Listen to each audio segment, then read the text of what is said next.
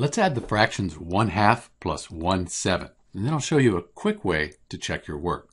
So first off, we need to get a common denominator. These numbers down here are the denominator, and we need to get them to be the same. So what we could do is we could take 7, multiply by 7 over 7, and then here 2, let's multiply 1 seventh by 2 over 2.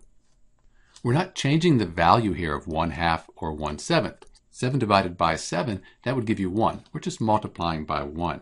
But now 7 times 1 is 7, 7 times 2 is 14, plus 1 times 2 is 2, 7 times 2, 14. We have that common denominator. Now we just add the numerators, 7 plus 2, and we get so 1 half plus 1 seventh, that gives us 9 fourteenths.